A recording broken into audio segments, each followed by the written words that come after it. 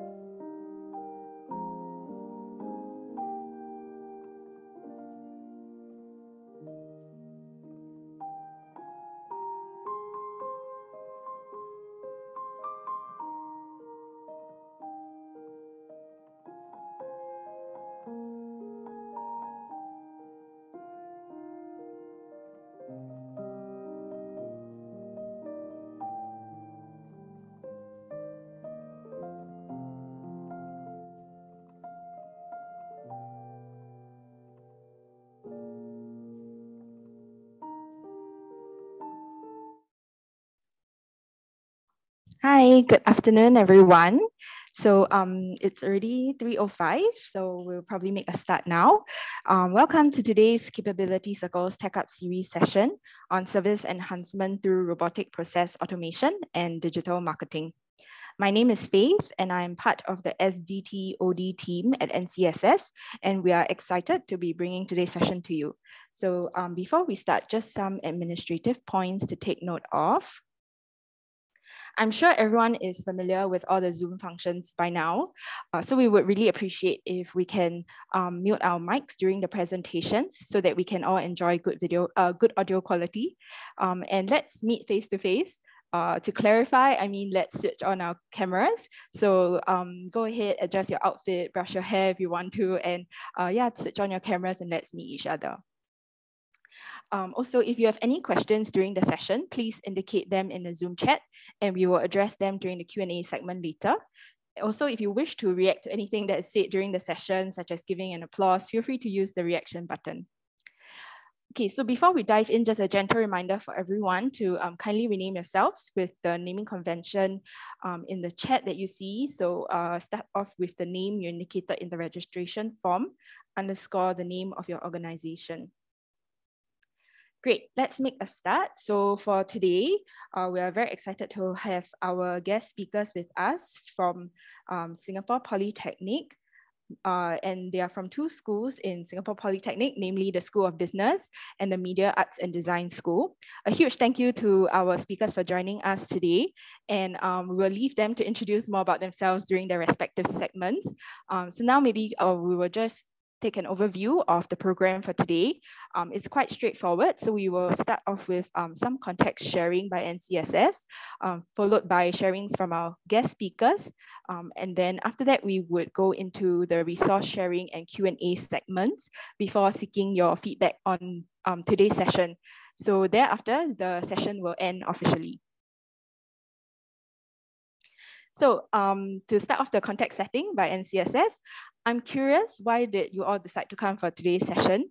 Uh, you don't have to answer me now, but perhaps you can keep that in mind um, as my colleague Anna and I seek to paint the context um, of digital transformation in the sector and how RPA and digital marketing fits in with that. So as you would have already heard, um, the Organizational Health Framework for Social Services, or OHFSS, is a framework that NCSS launched for the sector to diagnose and monitor your organizational health over time.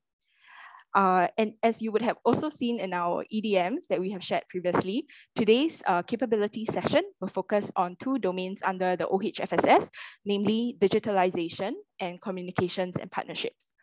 So we hope that this session will strengthen your capabilities in these domains and you'll be able to put your learning into practice, uh, especially for organizations that have already done your self-assessment and found that these two domains are areas of improvement for your agency. If you're curious to find out more, uh, we will be sharing with you uh, some of the, uh, the QR code and the links um, that you can, uh, we'll be sharing with you the QR code later and then the link will be shared in the chat so that um, you can click on that link and uh, start on your OHFSS and self-assessment journey. So um, don't worry if you miss all these details, we will share it again at the end and uh, we will be also sending this information to you after the session. So with that, let me pass the time to my colleague Anna to share more about how today's speakers and topics fit with the sector's transformation in the digitalization domain.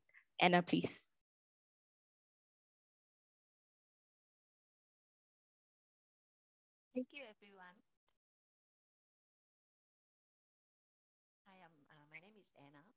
Uh, NCSS Digitalization Team. I think some of you have already worked with me for quite some time before.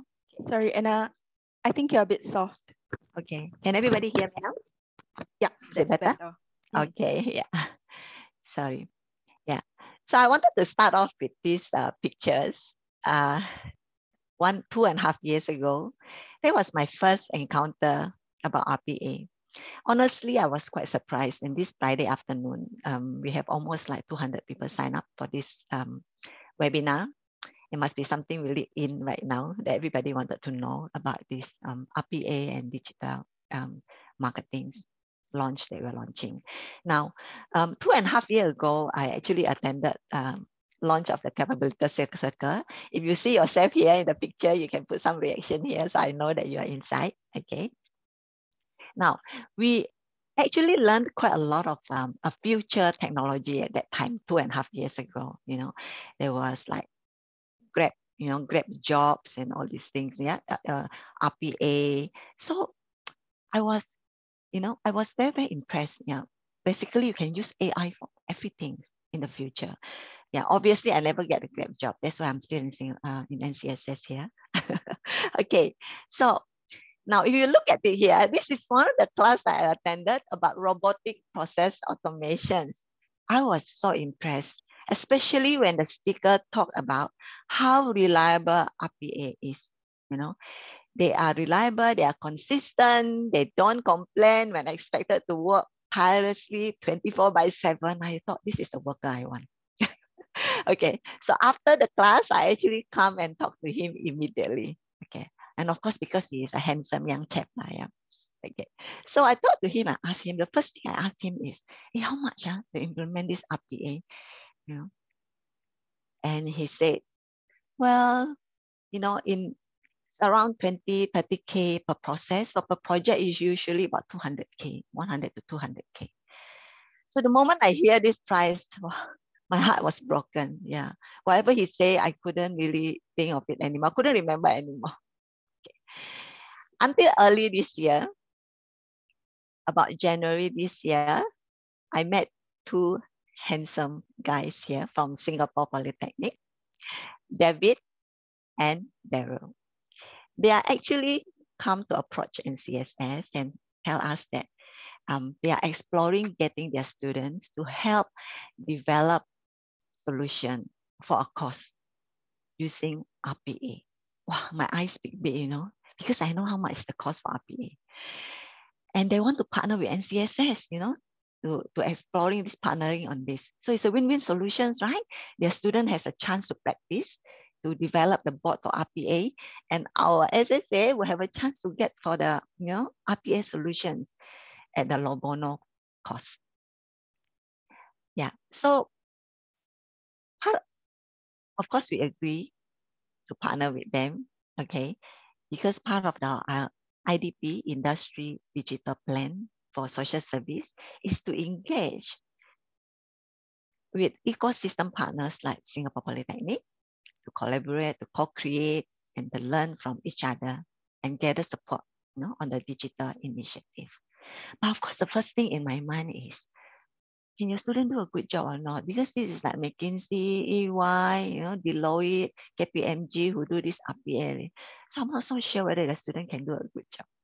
And I asked um, David and Daryl whether they can do a pilot without SSA. One of the purpose is to find out what is the sectoral process that we have. The second thing is I wanted to know the quality of the RPA. Oh, okay, so here are all our RPA heroes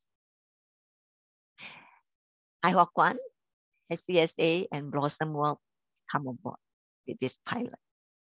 And with the pilot, we have they have developed 12 processes that they really need, which is our sector really need. They work so hard, so hard to the point that you know the students and the teachers and the lecturer, including the staff, to the point that I thought they are the robot themselves.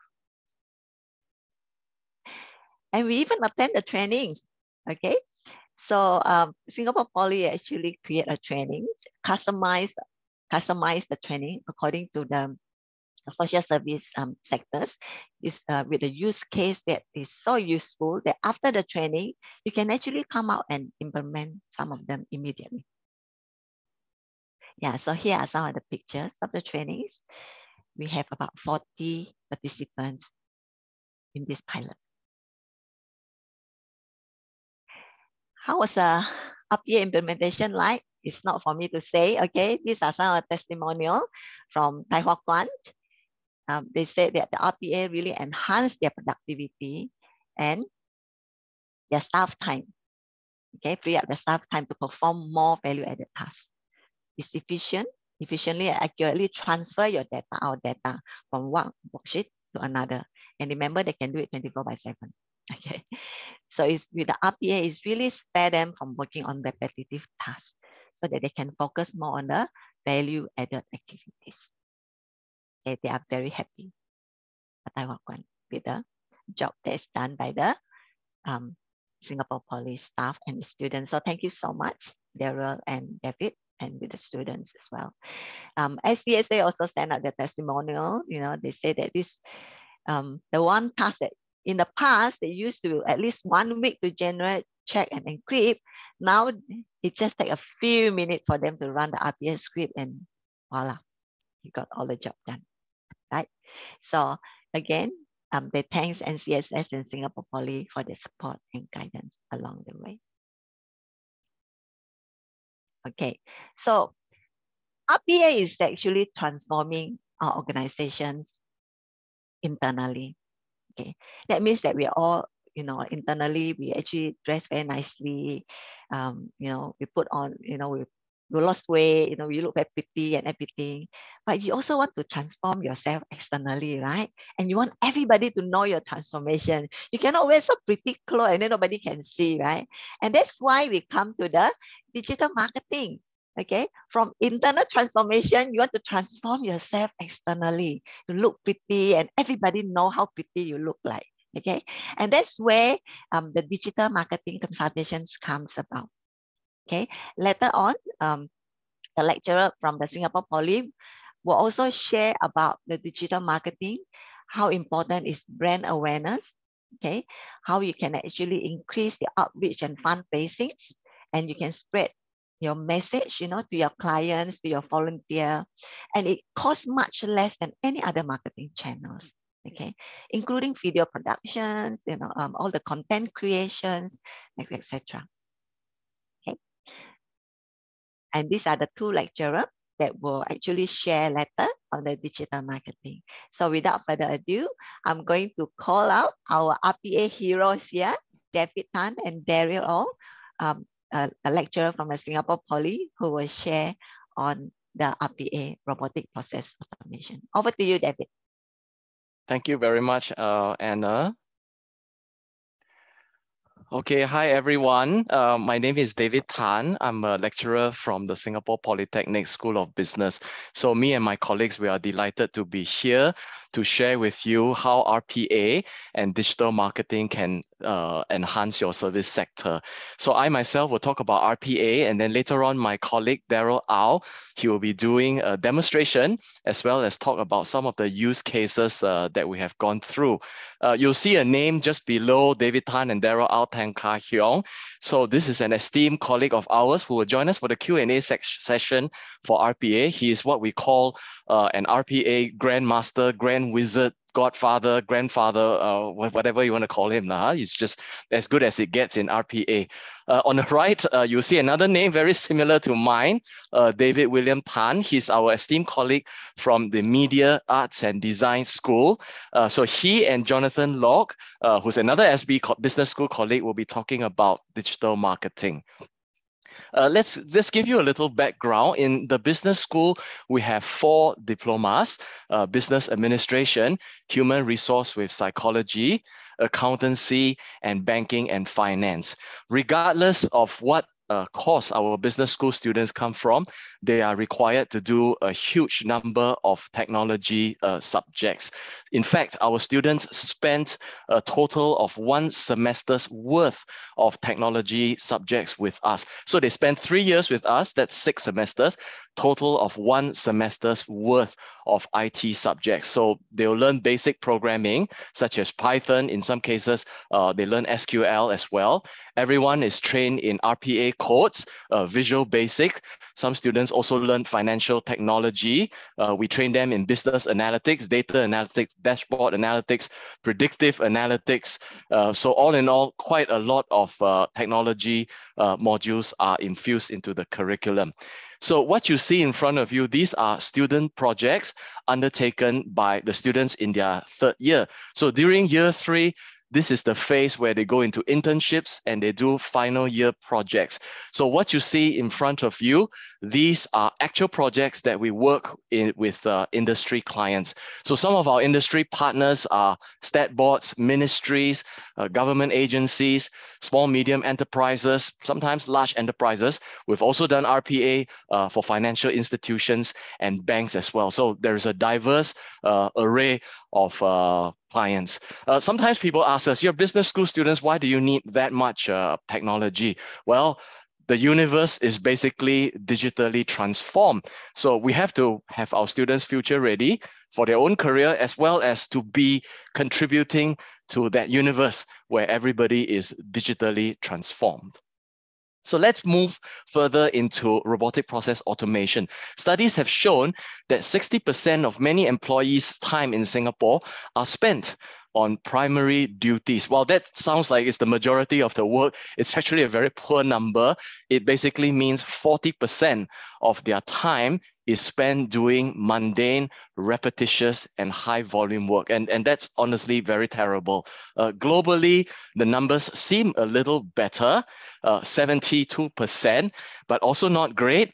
30% uh, of their time are spent on non-essential work. So what does it all mean? On the right, you see some uh, numerical data, $38 billion lost on productivity, and then 48 uh, days uh, per calendar lost right, on uh, mundane tasks. So that's really uh, quite poor. So in terms of what we see are the challenges for social service sector, they are quite uh, similar to many of the enterprises that we have worked with. First of all, high voluminous work, a lot of manual and repetitive process. Uh, unfortunately, we're still very hard copy and paper uh, paper documentation type of system. So what all this means is that they're very prone to errors because humans, when we do repetitive manual tasks, we get tired, we lose concentration.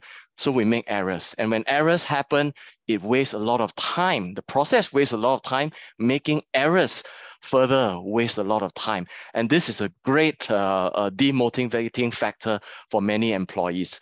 Through our partnerships with many companies, a lot of employees share with us that sometimes you know they quit jobs not because they hate what they do, but they hate the repetitive work that they have to do and all the errors that come with it this website, and we'll share this deck with you. Eventually, you can go to this website. Uh, as we move into RPA, a lot of people have this fear, would I lose my jobs? So I've gone inside this and I've keyed in social workers. You'll see that uh, there's only a 4% chance that your jobs can be eliminated by uh, automation. I think you kind of can expect this because you're in the business of being personable right? It's a person to person human touch uh, industry. Automation cannot replace your job. If anything, automation will enhance your job because they take away all these repetitive tasks, allowing you to focus on the important things, which is community, all right, serving the community. All right, so if you go into this website, you can key in just about anything.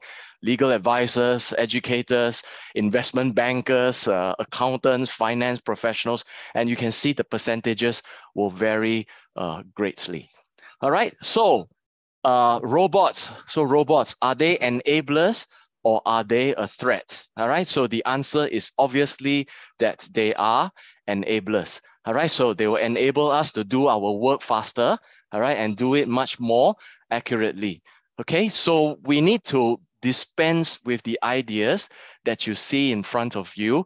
Hollywood has programmed us in a negative way, whether it's the Matrix or Terminators or Prometheus, you know, the Android and Prometheus.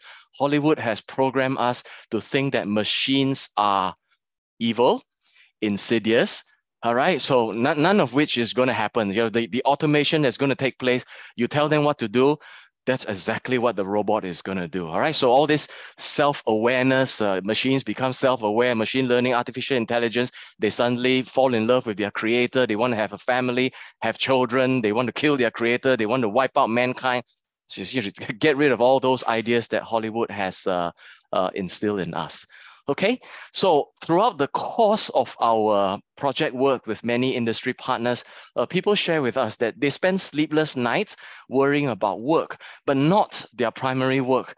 They spend sleepless nights worrying about all these mundane tasks that they have to do tomorrow, and therefore I have no time to do the real work that I got paid to do or that I signed up for. So what's their dream for many such people?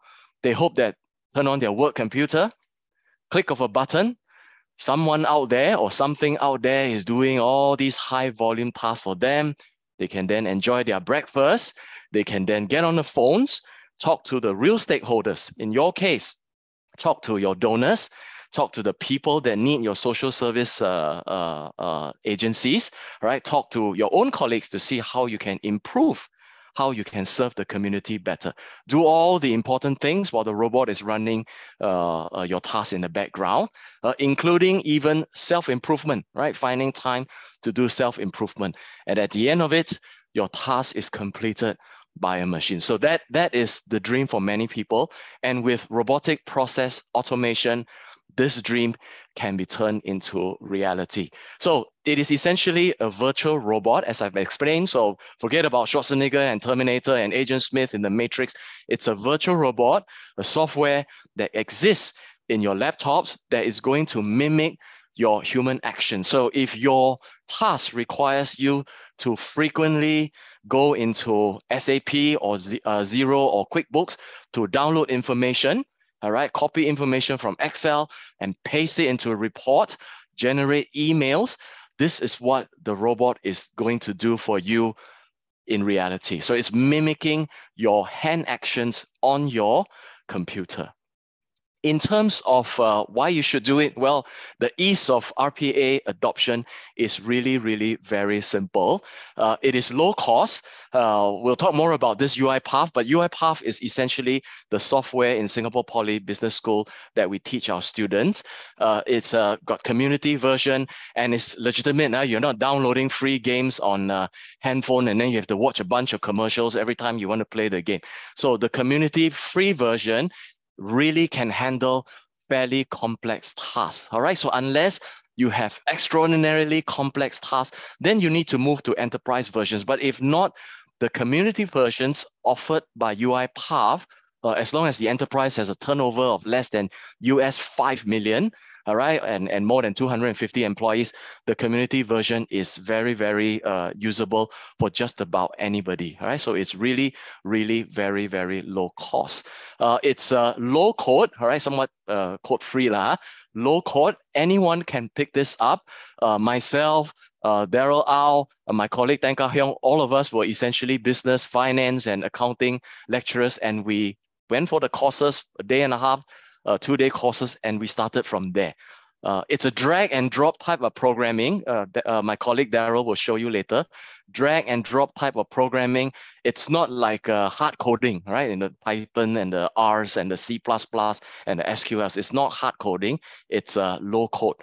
It's thirdly, very non-invasive. So it, it's just an app in your laptop. You click on it, you mimic your actions to copy information from Excel to generate reports.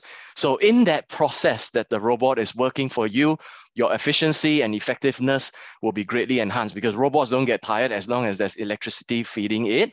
Uh, so very efficient, very effective, leaving you as the end user being able to focus on things that matter to you most, the value added and the critical issues. So studies have also proven, right, 95% of corporations have found that yes, indeed, it improves uh, productivity. Uh, the error reduction, it's a great help because when errors are lower, then the compliance with regulatory requirements greatly improves. So 93% uh, of the firms saw improved in compliance. And of course, on the right, thirdly, more than 80% of the companies saw uh, a reduction in uh, costs. All right, so I hope uh, I've got you thinking in terms of uh, what you want to automate. So the next step is to identify suitable processes. So let's be real here.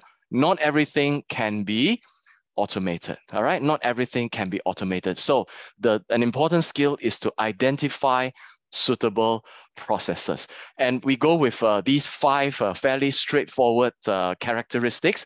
First of all, they should be repetitive, but of course, right? Because if it wasn't repetitive, it's not a pain in the neck then there's less incentive to uh, automate. So yes, RPA is great for things that you need to do every day, every week, every month type of uh, reports. Secondly, it should be rule-based.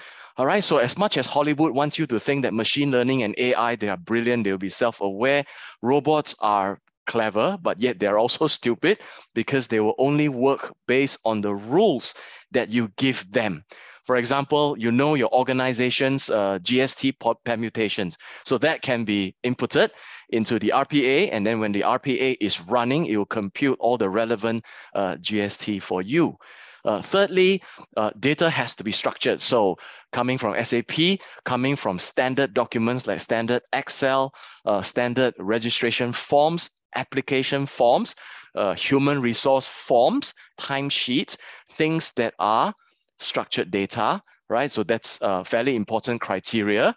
Uh, things that are prone to human error. So this is obviously one of the great benefits. Whatever task that you're doing that is uh, tedious and loss of concentration results in a lot of uh, errors, that's uh, excellent.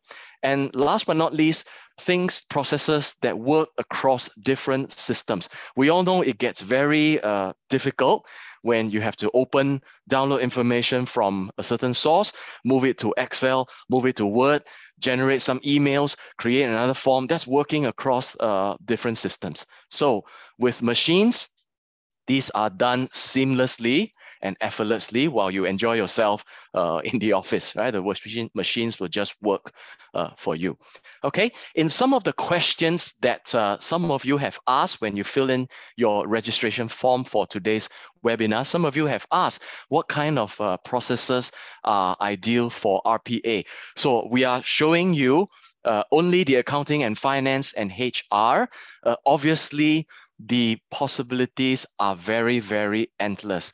Whether it's supply chain, uh, people are using it RPA for marketing as well to gather information on web traffic, uh, automatic sending of marketing information to their target audience, analyzing market survey research information. So there's plenty of other uh, usage beyond just what I'm sharing here. So what I'm sharing here is, of course, the accounting and finance, data entry, collections, generations of accounts receivable uh, on the personnel management side, uh, management of timesheets as well. So it's quite uh, limitless, right? You're welcome to go and Google, right? Just go and search uh, what are the process that you can uh, RPA.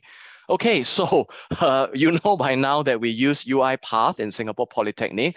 We've tried different uh, packages, and uh, from my experience, this is dynamic, all right, and uh, it's user friendly, and of course, being uh, uh, the fact that it has a community version makes it really useful. All right, so we teach our students a community version, and like I said earlier, the free version can handle fairly complex stuff. So unless there's a process that is ultra complicated, and we do get that. Uh, we do have partners that need to use the UiPath enterprise versions. Then we will, uh, we can help you to connect to UiPath, but we should uh, say this because we are recording this uh, uh, webinar that uh, Singapore Poly, we are not authorized dealers of UiPath. We don't get a cut of the commission. we're not paid sponsors. We're not even unpaid sponsors of any kind. We just use it for the obvious reasons that uh, we've mentioned earlier. All right, so I think some of you have also mentioned what are some of the, the in your questions, uh, the pre-webinar questions, what are some of the other softwares uh, in the market? Blue Prism is a fairly uh, famous one, all right? So some, some of the big banks here, they use uh, Blue Prism. Uh, Automation Anywhere, that's another uh, famous one. All right. So, but as far as uh, we we research, UiPath is uh, the market leader. Okay, so uh, if you decided you want to automate some of your processes, where does the change have to start from? So as we all know, in any organization, the changes have to begin right at the top. So the group of people on the left that you see on the screen, uh, higher ups, they have to learn RPA and then they'll understand what are the resources that is required to transform. Scripting and coding is easy. Change management is a mindset, and that requires senior management to come aboard. This transformational leadership is very, very important. Senior management must get the staff to buy in. Uh, people are afraid, right? You say, oh, what if I automate? Will my job be made uh, redundant? So psychological safety nets have to be uh, there as well. So it's very important, right? So there's no other way to mince our words here that the management from the top has to prepare everybody for that journey, have to prepare that, okay?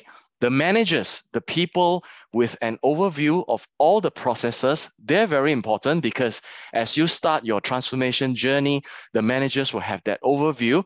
They will prioritize and identify what are the processes that can start off. All right. And ultimately, they'll lead the implementation. All right, so they also need to learn. And of course, the people on the right, the day-to-day -day users, it would be good for them to go for uh, RPA training as well. All right, so it sounds like a dream, but yes, it is. Okay, you you start a button, the robot does the work. You can have your breakfast. You can move on to your primary task. All right, uh, and then your work will be completed.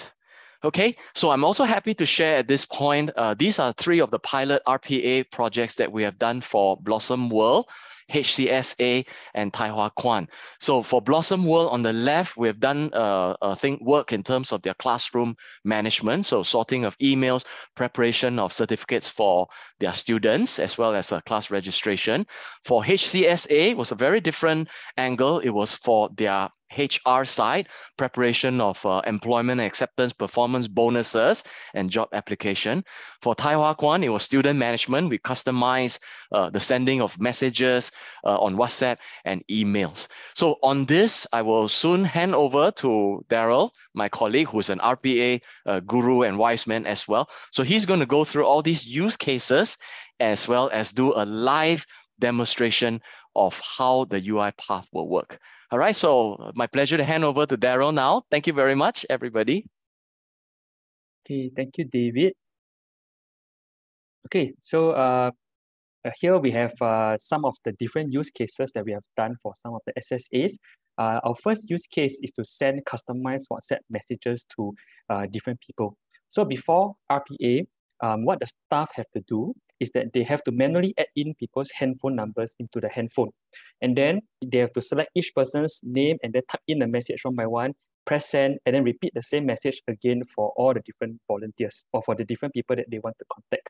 So with RPA, now you can just update the whole handphone list in the Excel file. Then you can just press start and then the robot will send the messages for you. Okay, so here is a video of how the robot works. So here you can see is the typical message that you want to send. Here is the uh, the people's names and the email and the WhatsApp uh, numbers that you want to send. Press start, and then you can get a robot to choose whether you want to send it with a document, with a picture, with a video, or a GIF. Okay, so in this case, we are sending a document together with a customized message. So as you can see here, the first message has been sent to Felix. You will now send to the next person, which is um, what's the next person's name? Uh, Emily. Yeah. So uh, then we can just if the if, even if you have ten thousand WhatsApp numbers, the robot will just keep running over and over again, and you can actually send out uh, messages to each of your uh, people, uh, and you can customize the message to with their names. Okay. So this is one example of uh, how you can use uh, RPA to automate your work. We have another example. So in this example, we have to prepare the performance bonus letters.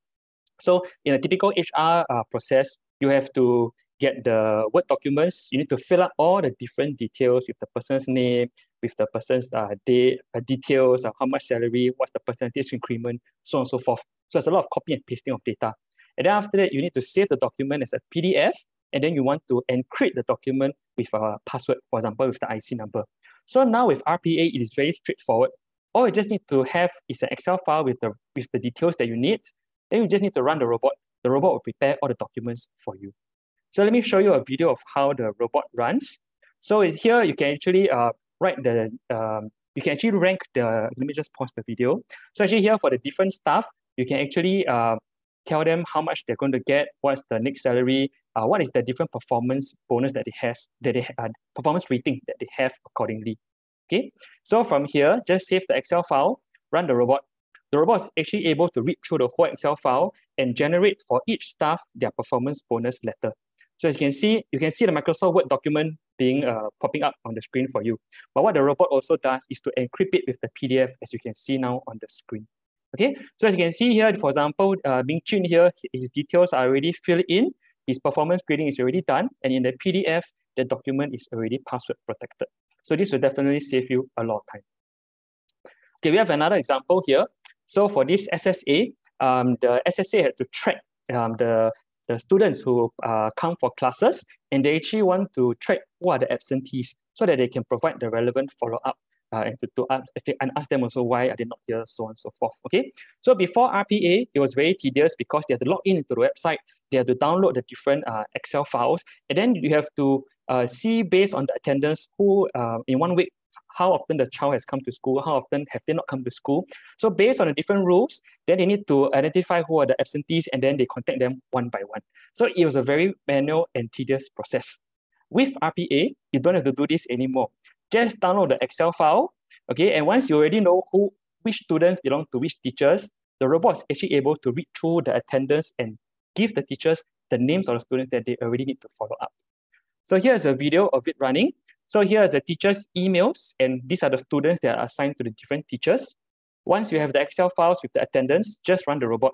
So the robot will process all the information for you. You can choose the correct week, and you just wait yeah, so as we wait here, the robot's processing the information and it's now going to send an email to each teacher. And each teacher will receive uh, the, the Excel file, which contains the list of absent students that they need to follow up.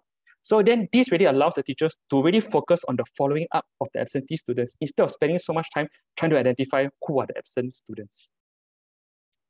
Okay, we have uh, one last uh, show, one last use case to show you.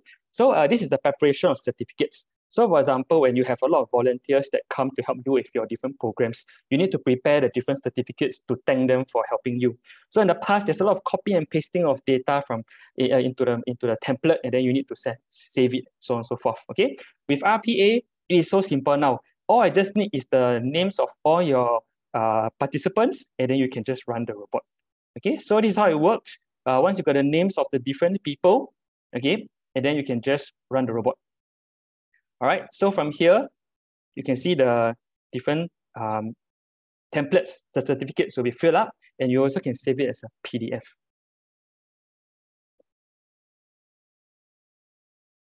Okay, so that's it. We are done, and they are all inside here. Okay, so if you think about it, these all, all these things look so wonderful, right? Is it very hard to do this? How easy is it to do this? So let me show you now how easy it is to automate your work.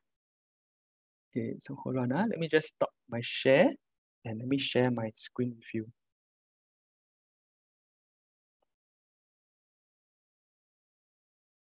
Okay, so this is the software that we have. The process I'm going to show you is the one that, I, that we just showed on the preparation of certificates.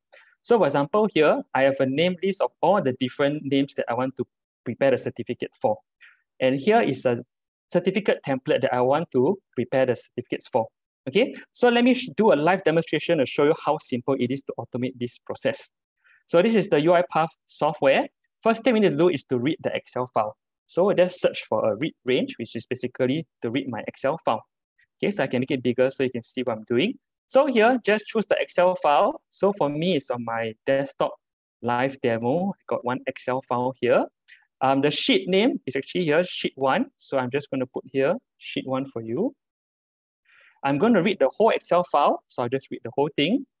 And then I need to save this into a memory box. We call this a variable.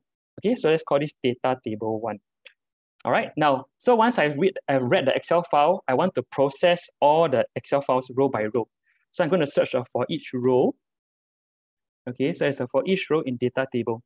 Okay, so for every row in just now the DT1, which is what I saved from my Excel file, I want to read the name I want to get the name.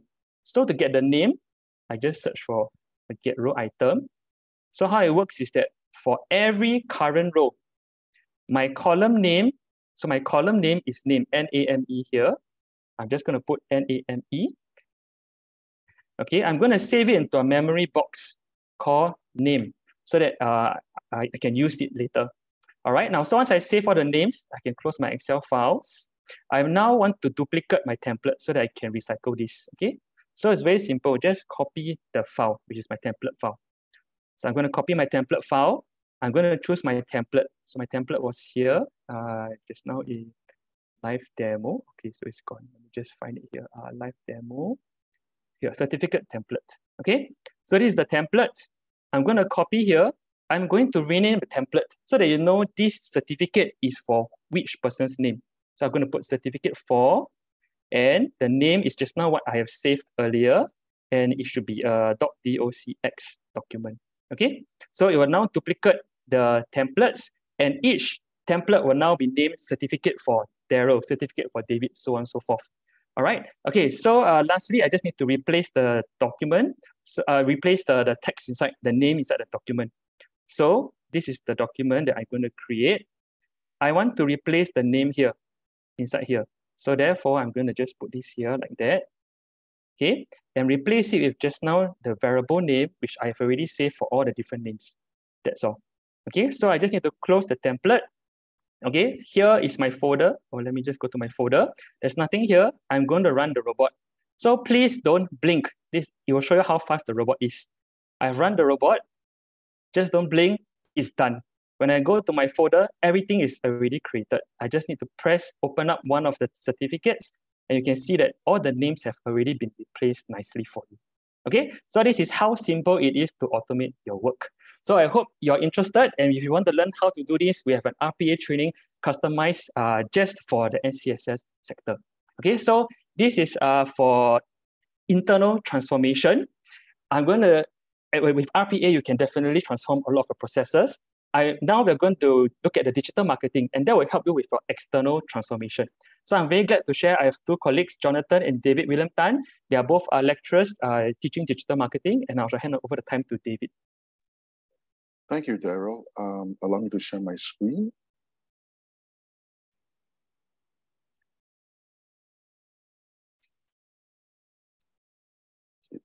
I hope you can hear me and you can see my slides. Yeah, we can. Thanks. Thank you very much.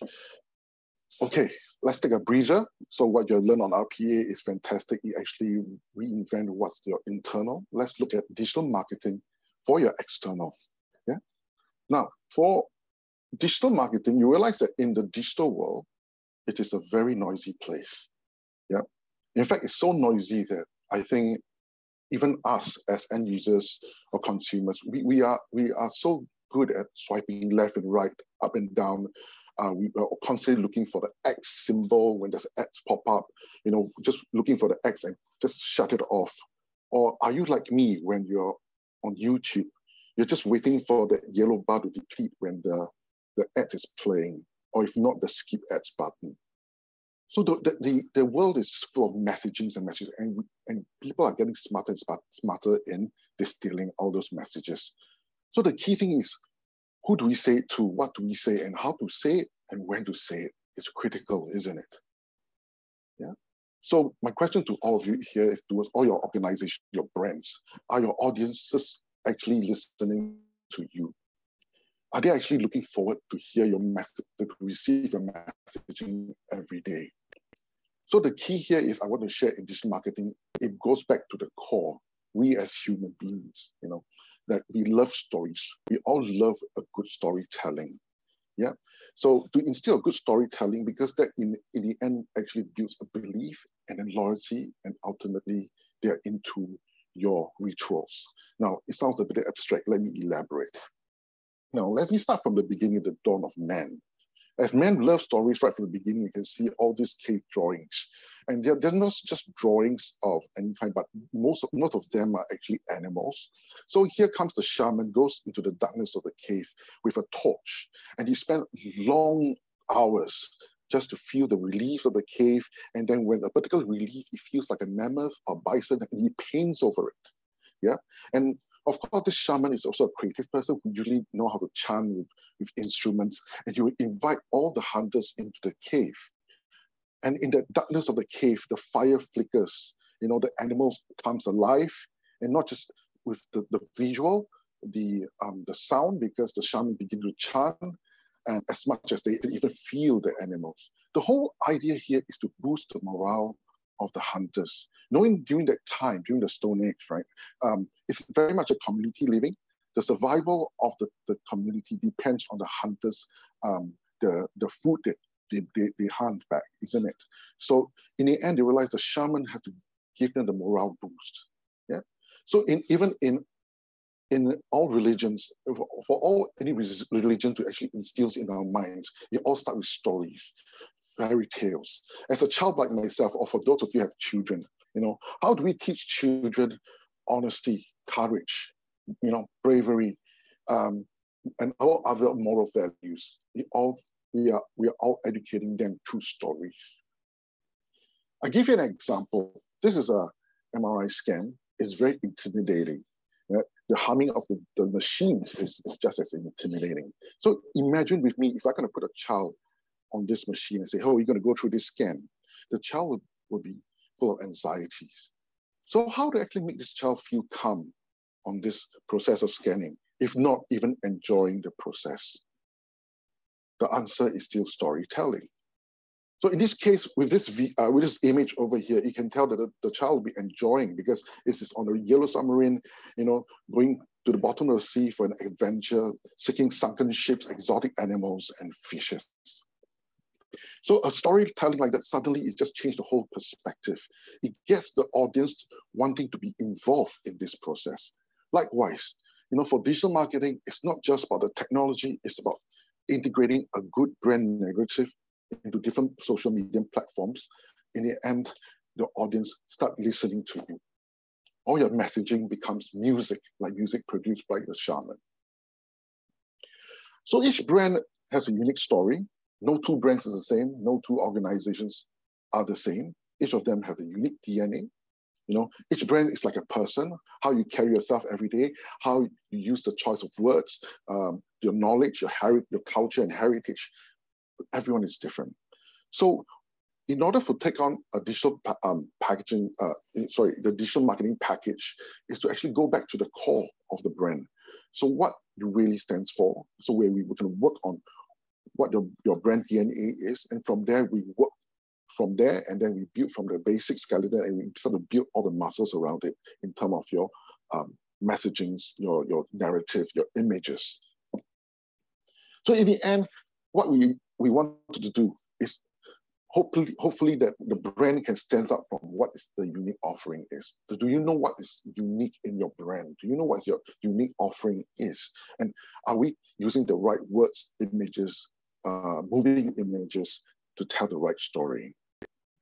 Or does your uh, consumers, your, your volunteers, you know, your members actually wake up in the morning and, and decide to have a, a parcel delivery and, and that's the first brand that pops on your mind, you know. Or how do you actually communicate the brand uh, of what you can do and do best? So in short, basically is that what we're trying to do is to bring the distance between the brand and your, the receiver of this message closer and closer to the point the brand becomes part of their life. Every day in their routines of their life, they look forward to your messaging. They look forward to when they go to social media platforms, they look forward to what you actually, um, uh, uh, yeah, they, they, they can't wait for what you're going to unveil to them so that therefore they can define themselves with your world. Now, deriving a strategic brand narrative is definitely a delicate process. So allow me to share with you, a communication is not a linear engagement. You see, we, for, uh, for us humans, we have five senses. And for digital marketing, it actually encompasses two of the five senses. In this case, uh, you get sound and you got visual. Visual tends to be a stronger uh, sensory channel. However, you see how our brain works is that the more sensory channels that integrate together, the more we remember. Like for example, you to see a colleague in the office, it's not just the visual, it's the sound that the person talks, and even to a point, the perfume that the person is wearing. So in this case, the more memory channels uh, that is inputted to the brain, the more, the higher the awareness, the more, the higher the brand recall that the, the end, uh, the target audience can actually recall your brand. So in SP, we have students from different diploma, basically in um, visual editing, um, they into illustrations, uh, graphic designs, UX, UI, and to research copywriting, and so on and so forth, where we have students from different specializations able to come together under um, to, to, we actually have an agency to form a team, and then we actually crack the code. What is the, what is the, the, the brand DNA, and from there on, work on the strategy for your uh, brand. So um, for the digital marketing package A, it works something like that. So we start from the left, um, which is research and analysis. And you can see right down there, we from brand DNA all the way until the, decision, the decision-making process and where we've got to seize out all the, the insights from there, and then we move on to the communication blueprint, where we can transform all those insights into a central big idea, an overarching, um, uh, basically a theme for that narrative. And, and then, of course, with that, we have also have the integrated marketing communication, or in short, we call it IMC strategy. So once we, we have that as uh, a base, we were going to work on the creative proposals, where we're going to work on the mood boards, um, we work on, uh, copywriting and so so forth, imageries, whether imageries or the choice of words, the choice of the imageries to come up with a, a, a formidable creative proposal. In this case, you can see the list here uh, from two co corporate videos or two video contents to four to eight social media posts. And you can see the list is down there, what we can do. Uh, and then from the creative proposal, once it's approved, we, went, we will go to the next stage with the, which is the creative development. And where we, are going to develop the remaining, we're going to go to a, a recce the places to cover the events. Um, and in the end, we're going to compile everything together with the approved uh, creative proposal, and we will deliver the files in the end. Yeah. Now, the, the length of the, the, the duration, it varies according to the campaign, uh, whether it's three months or six months. So we need to work with you uh, because everyone has a different needs. Everyone has a different stage in their brand health. When I say brand health, every brand has a lifespan. So we need to understand where your brand is at this point of time. Are you a power player or you're just a new brand or you have been around, but you want to rejuvenate the brand? Different um, brands has different um, needs uh, that we need to um, deal with. So these are just some of the projects we have done. As you can see, there are videos, there are graphics, there are illustrations, uh, even down to print, uh, websites, um, of course, social media platforms. So both, um, we have clients from both private sectors and public sectors, but I just want to narrow down to two. Now, one is Sundeck, and the other one you can see here is a, is an organization I cannot disclose because currently the campaign is still running. So um, they have informed me that um, for the the feedback to not colored by you know so, uh, the the disclosure, so it's better not to disclose. So we protect our clients uh, in this case. So let me just move on to that secret uh, organization. So basically, they want to promote what is good um, in terms of um, uh, uh, for Singaporeans. So what they do um, is that they want to know um, for Singaporeans what is good to them. What is a good company? What's a good neighbor? What's a good breakfast? So basically, you can see that website is done and there's a quiz for Singaporeans to go out there and actually input and compare uh, results.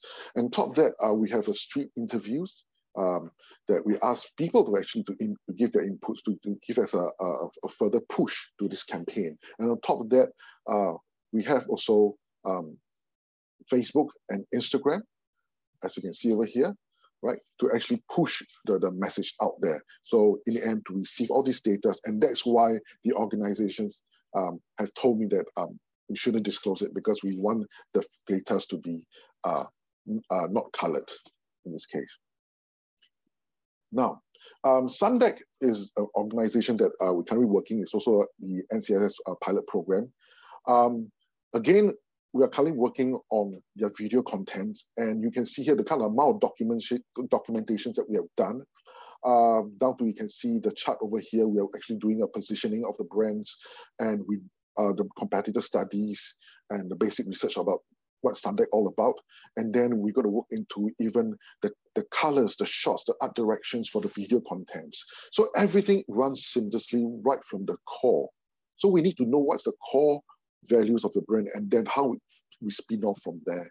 So even just a video content like that, it takes a, a, a, a I would say a pretty uh, complex pro process to actually to derive, even down to the mood boards. And just to share with you, I just received uh, messages from my students that um, they're sending over the latest uh, uh, keyframes and uh, the scripts. So um, this project is currently ongoing. So you can see the process, we have kind of reached at a big idea. Once the conceptualization of the mood board script, I think is done, we're ready to see the client again. So um, in short, don't create noises. Let your brand shine, like this lens over here, where you can see to the end of the horizon, you know, with one sight and one sound. And hopefully, um, not just with our software, we have hardware in our schools, like um, video um, recording studios, the green screen you can see on the left here. And uh, even we have support from our tutors and colleagues to, to actually uh, look over these um, projects. With that, I end my presentation. Thank you very much. I'll just pass the time to Jonathan. All right, let me quickly share my screen. All right, thanks David for sharing more about branding. So you can see there's actually a lot of exciting things that we can actually do um, on the digital marketing space. So if we take a step back and look at the broader perspective, what is digital marketing? So digital marketing is actually making use of the internet and all the various online-based digital technologies to actually promote the different brands, the different products, and the different services. So what I've done here is I've actually taken a few screenshots. So on the left, you can see this is actually one of the very first few banners on the internet. Um, and this was actually out in 1994. So back then, they, they actually received a lot of click on just this banner. So fast forward all the way to 2022, you can see nowadays the content has actually evolved to something that is a bit more clearer. So in this case, you can see Adidas is actually trying to promote their shoe. And here you can see Singtel actually trying to promote some of the plans. So what is the difference? I think the difference is that the, the environment we live in now is actually more competitive. Um, and we need our content to be clear. So the click-through rate for all this content is actually a lot lower as compared to it being released in 1994. All right, so if we were to look at just purely Singapore, so Singapore, we have about 5.92 million people, and the number of people using the internet actually stands at 92%. So that actually tells us a good percentage of the Singapore population actually can be found through the internet. And if we do, if we were to dive more into just purely social media, 89.5% of these 5.92 million people are actually active social media users. So where did I get all these numbers from? So all these numbers are actually um, from We Are Social. So they're all readily available information for you to go and have a look. So what does this actually tell us? It actually tells us that um, the digital landscape in Singapore is actually quite mature and it can be used as an avenue for you to tell more about your brand, your product or services. All right, so if we have to look back again in the whole digital marketing landscape, one thing that's actually consistent is that you need to have content. Um, without content, you can't tell a story. So why is content very important? Uh, because content is actually a way for you to relate, to speak to, and to inform your audience. So if you take a, if you take a, a look at digital marketing versus traditional media, it is actually very similar and different. So similarity is that it is still content. Um, but in terms of difference, um, digital marketing actually allows you a way to reach out and engage your target audience in a way that um, traditional media can't do. So if you watch a TV commercial, all you can do is probably watch a video followed by maybe searching it up if you're interested. But through content on social media, what you can do is after watching that same video, you could actually um, engage with the content. You can actually press like, comment, or you can even share with others. On top of that, you can also actually click into content um, some of the times, and it will bring you to a specific landing page. So instead of having to search it up yourself, content on digital marketing actually creates a lot of very unique opportunities for the brand that actually helps you with a few key things. So what are these few key things? Firstly, if you think about it, um, having content online actually helps you to discover new things. So if, if you look back, um, at least for me, I've actually discovered a lot of new information, uh, ways to cook new recipes on the internet. So having content online actually helps your content to be discovered. On top of that, it actually helps you to engage with your consumers. So with like the recipe, you can actually see people liking the recipe, people sharing maybe um, maybe slight motivation modifications in the comments and such. And lastly, from digital content, you can also actually really act on it because sometimes it actually allows you to, to click into it and it brings you to a specific landing page. So why is all this important? Well, um, for me, I'm a bit sneaky. So I think content in the digital space actually helps you more than just um, educating, informing, and, and engaging. I think content in the digital space actually also helps you understand your consumers a bit better. Which content do people engage with more? Which content do people actually um, leave more comments? So this actually gives you idea what um, interest does your consumers have, what kind of content actually engages them better, and what really works be best for your brand. So for so thank you, David, for sharing more about digital marketing A. So for digital marketing B, it is actually a four-step process. So it starts from a brand audit, followed by content strategy, editorial calendar, and lastly, content creation empowerment. So I'll be sharing more of this in the coming slides. All right, so um, before we, I share a bit more details, I'd like to give a big shout out to Teen Challenge. So Teen Challenge is also part of the pilot program um, that actually allows us to work on them so that we can come up with some examples to show you guys how does package B works. So we'll first start off with a very simple brand audit. So all this again, it's not something um, that is very difficult. So what we usually do is we want to understand what can be found online. So we'll be making use of things like Google Keywords Planner and some other online tools and services to actually understand um, what is the website traction that you're getting on your website, um, where have your content be featured, and also getting an overview on from an outsider point of view, what kind of messaging do we get or do we understand based on what we are seeing?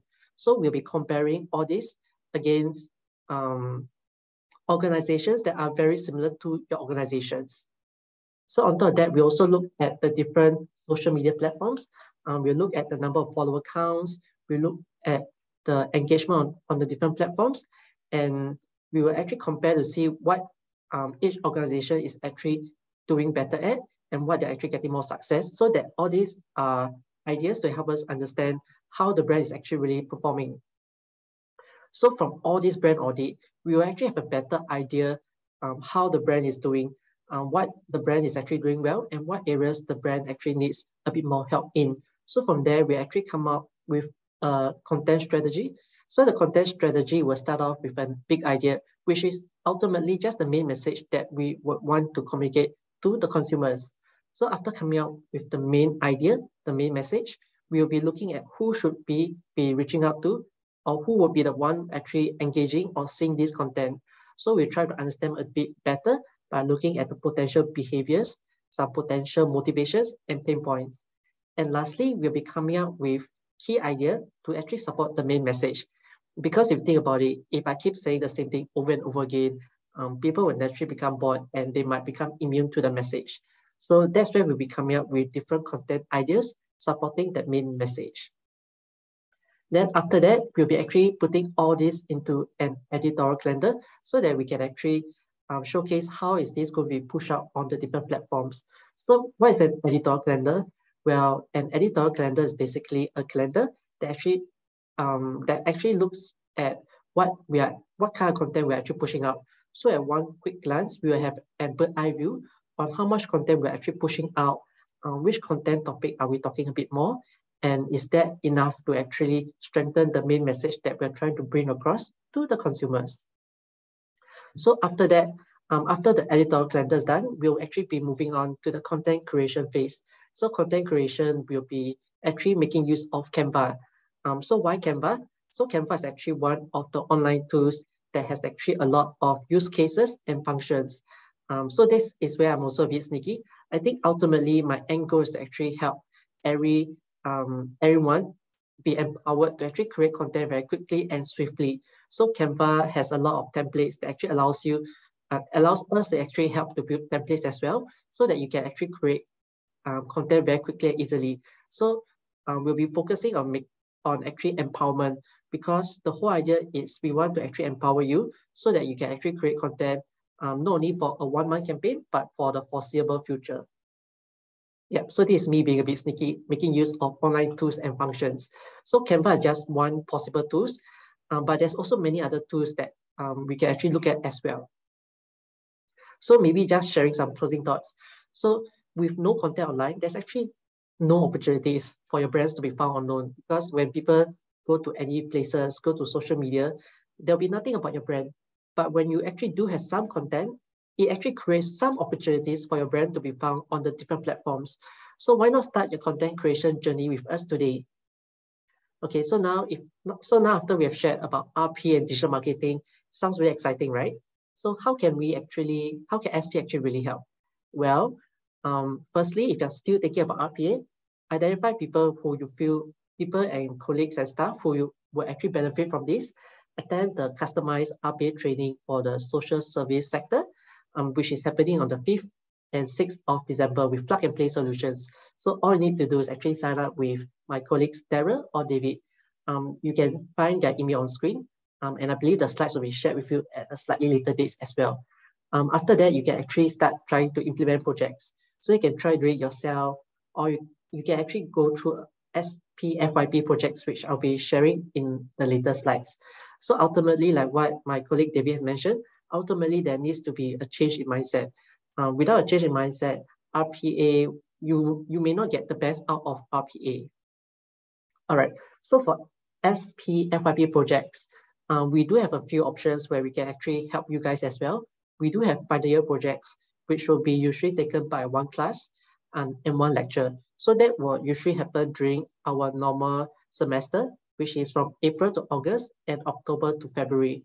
Um, on top of that, we can also explore internship. So our internship is usually for a duration of 22 weeks, and it usually happens from March to August and September to February we still have student agency, which I'll share in the coming slide.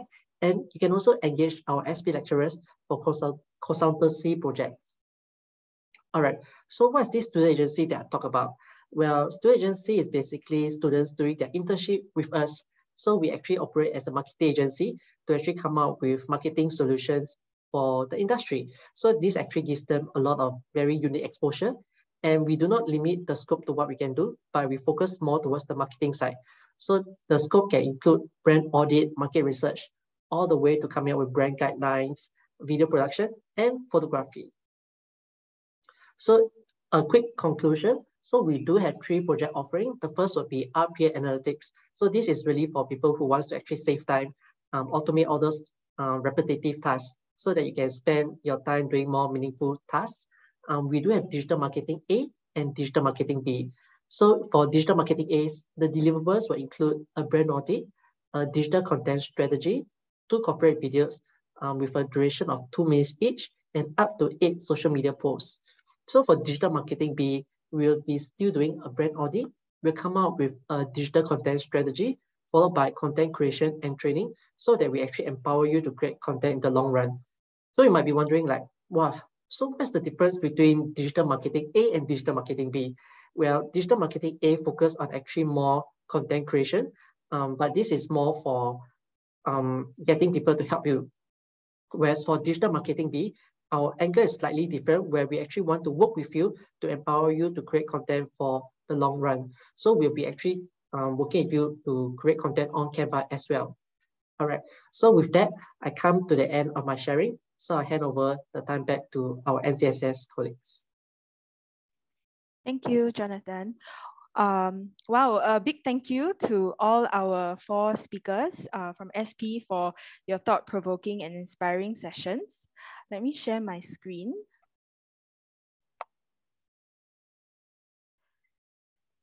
Okay, so um, we note that we are uh, we might slightly overrun today, but I think for good reason. So we just want to seek everyone's understanding um, in case we overrun today. Um, but uh, we hope that the knowledge shared by Singapore Polytechnic has inspired you towards digital transformation in your agency. If that's you, um, apart from what SP has shared on how they can help, NCSS is happy to share the following two approaches and resources that you might find helpful. So to assess how well your organization is performing in the seven organizational health domains, we do recommend you to take the OHFSS self-assessment. The Organizational Health Framework for Social Services um, allows SSAs to self-diagnose their current state of their organizational health, identify areas of strength and development so that your SSA is able to plan your capability building efforts more strategically. There are two approaches to this diagnostics. So the first approach involves using the self-assessment tool. SSAs identify two to 10 representatives to complete an online form, and findings are consolidated into an organizational health report. The second approach is to engage a third-party consultant um, under the Organizational Health Diagnostic Scheme to conduct an in-depth diagnostics for your SSA using um, the OHFSS framework. So for the first approach, SSAs can learn more about how to use this self-assessment tool at our monthly OHFSS workshops. Uh, we will go through the genesis of OHFSS and how to use the rating rubrics uh, during these workshops. And because they are held face-to-face, -face, you will also get the opportunity to network with other SSAs uh, and learn from each other on how to use this tool. So if you're interested, you can take note of the um, upcoming dates that are stated in the slide, um, and you can scan the QR code on the screen to register. So uh, my colleague will also add in uh, the link for you to uh, register in the Zoom chat. So granted that the self-assessment tool, as its name suggests, is self-assessed. So SSAs who wish to have a professional third-party assessment of your organizational health can apply for the Organizational Health Diagnostic Scheme, or OHDS. So in OHDS, um, an NCSS appointed consultant will conduct an in-depth diagnostic using the OHFSS over a period of six months. After that, the consultant and SSA will develop a three-year strategy document based on the findings. And subsequently, as a deliverable, SSAs will need to identify one plan from the strategy document uh, for implementation within one year. So if you're interested, you can apply via our Singapore grant um, portal, or if you want to know more, feel free to also approach us um, at the end of this session. Um, we will also add in the link for you to find out more in the Zoom chat. So that's all from me. I will hand the time over to Anna to share more about the available resources from the digitalization programs team.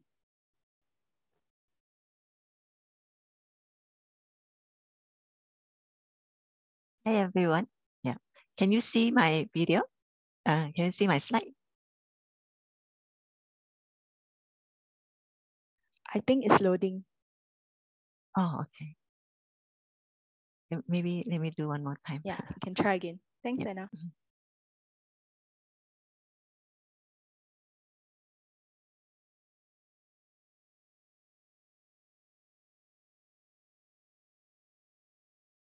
Okay, can you see the funding for SSA? Yeah, can see. Thank Very you. good. Yeah, I'm sure everyone waiting for this time, right? You can't wait really. I can see from all the chat that, you know, what kind of funding can I get? Can I get it for free and etc. Now, before I come to the funding, I want to tell you one story first, how we actually um, uh, come up with the funding, okay? There are two type of my, it is my own RPA journey, okay? There are two type of boss who want to make this RPA successful. Okay. The first type of boss is like my boss. Um, my boss not here, right? It's okay, right? So, so my boss will send all of us to go for RPA training. Okay. We think, why it's so fun. What's so easy? Not that easy, lah, but a little bit as easy, easier than I thought. Okay. It's very fun. I think I can do it. And then we came back. We were so drowned with our work. We totally forgotten and nothing implemented. Okay. Another type of boss is a Kang Ho boss like the Thye Hua Kwan, you know, uh, HCSA or Blossom World. They immediately ask me, Anna, can you get someone do for me? Yeah. So the, we actually get the um, SP, uh, Daryl and David and the team to come and implement RPA. And after that, we also train the staff to do it well, you know, to do the RPA. Within three months, all the RPA are up. And for six months now, our department RPA haven't up yet. So you know what funding is more suitable, right? because of this, hence we launched this consultancy subsidy for you, okay?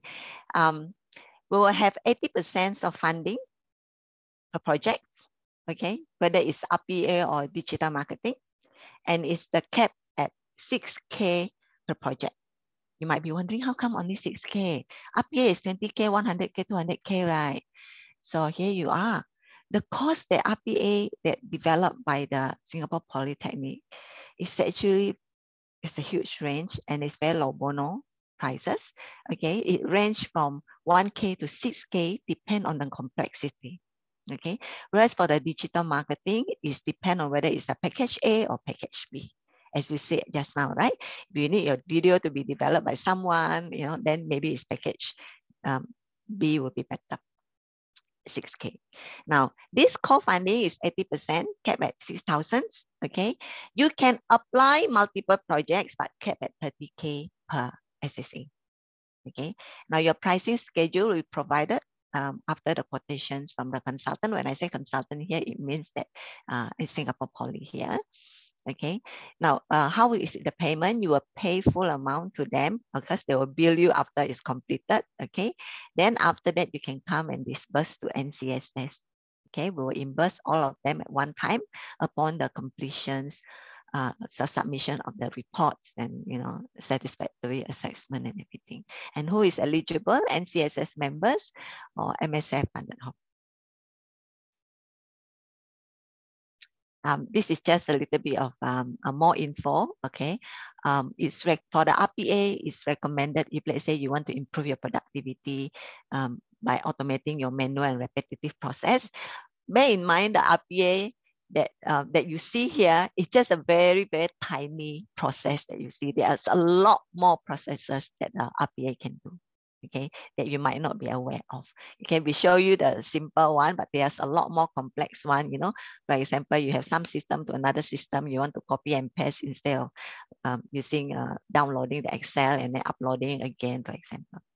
Okay, but what is a deliverable? That the Singapore Poly will give you. They will give you the, the, the bot itself, the automated processes already been created, the script bot. And after that, they'll give you the guide for the completed scripts, okay?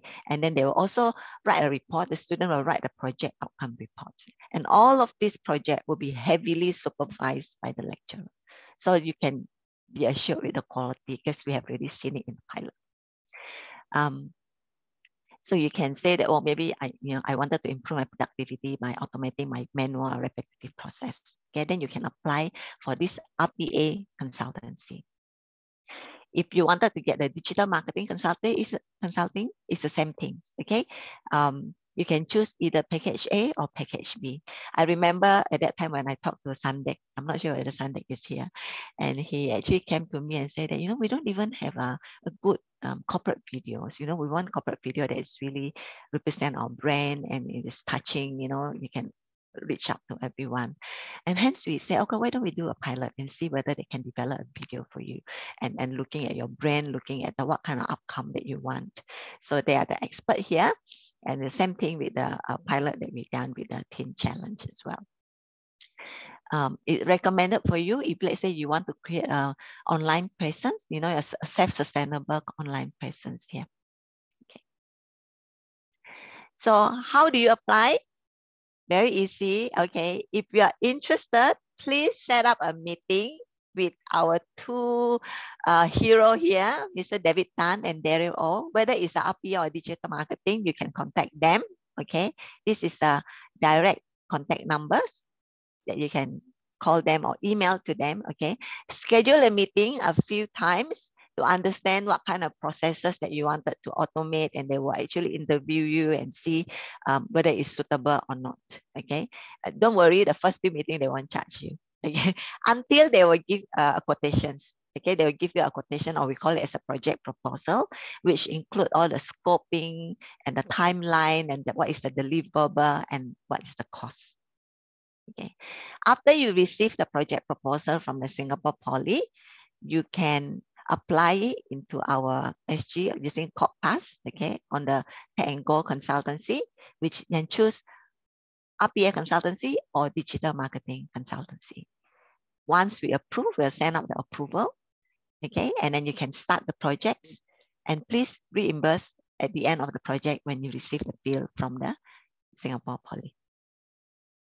Okay, So the last slide here is just to summarize how you can apply. And I just want to tell you very honestly here, this collaboration is a very special collaboration with Singapore Poly. And to be honest with you, we only um, make a promise to have 20 projects, both um, digital marketing and RPA consultancy. So if you really, really want, okay, please contact David and Daryl, okay, immediately after this, okay, and make sure you are one of the 20 projects that we can actually fund with a very low bono basis, okay. I'm so excited that we finally can implement RPA and digital marketing in our sector here, something that I thought it can only be done by the big corporations because of the pricing. So I think, yeah, um, I, um, let me give it back to the Faith and we'll go to the next sessions. Yeah. Okay, thank you, Anna. Um, so it's now time for our Q&A segment. Uh, so we see that there have um, been some questions in the chat and um, some of them have been answered already. Uh, so I think at this point, uh, maybe I could start us off with some of the common questions that uh, we have received in your registration forms. Um, but also, if you have a question, uh, this is the time now to ask your questions. Yeah, so um, please feel free to unmute yourself um, and direct the questions to any of the speakers that you would like to um, ask uh, ask questions too. And um, yeah, you can feel free to raise your hand or chime in and unmute yourself any point in time. Uh, so maybe now uh, we'll just start, my, start ourselves off uh, by one of the common questions that we have identified. Um, so to our speakers today, I think uh, let's start with the RPA one first. Uh, David and Daryl, what are the different platforms or areas that RPA can be used for?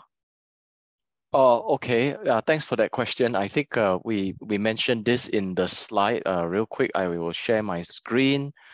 Uh, okay, should be looking at the screen now. Uh, you can see from here some of the common processes are in accounting and finance. All right, a lot of uh, data entry type, uh, payment reports, right, collections sales order as well as uh, uh, human resource. So, so far uh, we find that these are the, the things that can get people started very, very quickly. Okay, great. Yeah. Thank you so much, David. Um, maybe I will just open uh, questions to everyone uh, to the floor. If you have any questions, feel free to unmute yourself.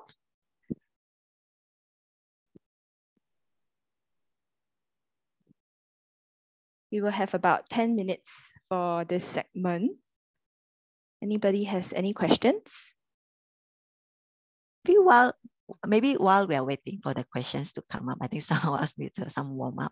Um, I just want to um, advise if you are really keen to implement RPA, um, do send your um, staff to um, attend the RPA training is very strongly recommended. Whether you engage consultants or not, it's really important for them to be um, uh, inform, you know, about the RPA, you know, it will help them a lot. Uh, first of all, the training has been customized really for our sector, okay, because they've done pilot with us. So the script, most of the script that is used as a case study there is the one that is used, um, they implement in a pilot with our SSE. So some of you can even just go back and bring that script and implement immediately. So it's very, very useful. But even though let's say you hire the consultants, which I strongly recommended, um, with the you know with the pricing that they give, you hire the consultant to um, develop a script for you. Still send your staff for the trainings because it will help them to identify more processes, you know, and um, to, to be automated. And, and you will, they will know how to implement better. And the most important, they can troubleshoot in the future. Thank you, Anna. Um, so I think I also see a question from Jeremy uh, from Caritas Singapore. Uh, so I think he's asked in the chat how to sign up for the RPA training. So I think maybe either our SP RPA speakers, yeah, or Anna can, can. take them through again. Thank you. Yep, so maybe I can share. Um, this is the RPA class that we have on 5th to 6th of uh, December. So it's a two-day class So uh, when you come Uh, for this sorry, class, Daryl, could you do the full screen, please? I think it's a bit small. Or is it Oh, just me? sorry, uh, Thank you. one moment. Uh. Uh, um, I'll just share my screen again. Yep. Okay. So uh, this is the slide on the training. So we have uh, training on 5th and 6th of December. It's a two-day, full-day class. So uh, for the first one and a half days, you actually will learn the basic RPA functions, how to do simple things. But in when you learn these functions, you also learn how to do the actual solutions. So you are in at the end of two days, you actually have a really a real plug and play solution that you can use immediately in your SSA. So what are some of the plug and play solutions that you can uh, that you will get during this training? So one of the examples is, uh, for example, the, the preparation of the certificates. I will teach you how to actually very easily prepare certificates. And the same concept can be used to prepare your performance bonus letters. It can be used to prepare any type of Word documents very easily. Another plug and play solution is also the automation of emails. So uh, if you want to send uh, customized emails again, for example, Christmas is coming, you want to send uh, Christmas greetings to all your volunteers. Uh, we can actually build a robot that's very simple to just write dear uh, each, each of their names individually and you can email all of them. Uh, the another solution we're going to share is also how to uh, automate the WhatsApp uh, messages. So again, you can send the WhatsApp messages to all your volunteers very easily. So we also cover a lot more other things, but these are just some of the very simple plug and play solutions that you can get on the 5th and 6th of December. So if you do want to sign up for this class, you can just uh, email to me and David Tan, and then we will we will uh, let you know about more details. How much is the class? Uh, after uh, there's funding uh, for the class um, by I, I think I forgot I think it's the WSG. Yeah, so it's actually uh, very reasonable. Yeah, it should be uh, around hundred dollars after funding. Yeah, okay. So it's uh it's, it's very very reasonable and you'll get the plug and play solutions immediately. Now, uh, I think some of you are wondering exactly how good are the solutions that our students are able to develop for you. I'd like to share that actually last year our students submitted uh, our solutions uh, uh, in for a competition. So last year, ISCA uh, organized a RPA hackathon, which is uh, open up to the industry. It's not just for students or IHLs, but it's really for the industry. And so in this hackathon, of the top five teams, uh, four of the teams came from SP. Three of the teams actually came from our uh, students. Uh, one of them actually got third. Yeah, so if you're wondering who is the champion, I am the champion of the hackathon. But it just shows you that really the quality that we have uh, in our school and, and the of solutions that you will get, uh, it will be very good and you'll be able to use it very well for your organization. All right, so yeah, this is very simple. Uh, please come for the training. Yeah. Uh, Daryl, someone has asked uh, in the chat, uh, uh, what other runs for 2023 are, are you all planning? 2023. Oh, we haven't planned for 2023 yet. We will let you know of the dates. Yeah, but do come for the December one first. Yeah. I, I just want to add, uh, ladies and gentlemen, that when it comes to attending the training, even at this point, if you have not uh, really had any idea what's a good process to automate or what, and you're just still a little, just getting your feet uh, wet, uh, do come for the December training because after that, I think it will get you started uh, even deeper in terms of identifying what you can do. So I, I think that would be very useful. Great. Thank you. you. Yeah. Thank you, David and Daryl. Yeah, so I think that also kind of echoes the question that we had earlier on during the session about uh, finding out whether RPA works with web-based applications, right? Yeah, so maybe we would just like to um, echo Daryl's answer that it does. And also, um, if you would like to find out more on how RPA can be applied, then we could also look at going for the December session. Okay, um, so maybe just one last call for any questions from the participants. Don't be shy. Uh, it will, okay, so someone asked where would the course be held? It will be Mm. held in SP. Now, actually, to add in, uh, add on to what uh, Faith said, whether uh, RPA can be used for web-based, uh, it can. RPA can be used for a lot of other things also. For example, uh, how let's say even if you want to process PDF documents, you can also do that. You want to process the emails that come in uh, into your email and you want to sort it out by um, the different categories, you can do it So There's so many things that you can do with uh, automation. Uh, what is the most, uh, comp so someone asked a question also, what is the most complex RPA that we implemented so far? Um, okay, for me personally, uh, I, I did for a lot of uh, accounting and audit firms also. So I've done uh, this XBRL process, which is uh, copying from the Word financial statements into this XBRL software and then to process the information and then to uh, put information into a website. So that's one of the most complex things that I've done. Uh, but the students have also managed to do it together with me. So if my students and myself with no IT background can do it, I already think anyone can pick up RPA easily. Yeah. How many reps can SSA send per organization to the training? Uh, there's no uh, limit actually. You can send your whole uh, team if you want. Yeah, if there's a lot of people, then we'll run two different sessions. Uh. Yeah. Do you have to download the software? Uh, yes, you need to uh, go to the UiPath website to download the software and you can use it. Yeah. Would RPA training be run via Zoom? Uh, no, RPA training will be done face to face because when the instructor instructors are there, we can actually help you to troubleshoot on the spot. Yeah, so it will be a face to face training in Singapore Polytechnic. Yeah, we, we did uh, online training during the COVID, and it's really very challenging for the, the participants because there's a lot of things that you really need the uh, two, three instructors walking around the classroom to hands-on together with you. Yeah. Thank you for the questions. Uh, maybe at this point, I'll just quickly check in if there's any uh, questions on the digital marketing and branding side. Um, feel free to yeah type in the chat or to ask and unmute yourself and ask your questions if not, um, yeah, we can, we'll still be able to, I mean, you can reach out to us. We'll send, we'll show you some uh, email addresses that you can uh, use to reach out to us if you have any further questions at the end of the session. Um, so I think before you go, we would just like to um, ask for your help to participate in the feedback form that we have prepared. So um, thank you to all the SP speakers. Yeah, we will share with you if we receive any questions uh, from the participants as well. Yeah, so um, to the participants, thank you for um, joining us today um, and for participating actively. We um, have put in the feedback form link into the Zoom chat. So we would love to hear from you um, on what you are keen on and how our future sessions can be improved. Um, let me share my screen and we will show you um, the respective email addresses.